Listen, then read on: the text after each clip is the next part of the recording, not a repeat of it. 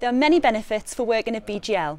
My favourites are the BGL Awards Ball, that's always an extravaganza and I love that event.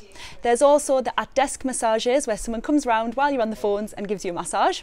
Or you can go into the Wellbeing Suite and have a hot stones massage or acupuncture and I look forward to them every month.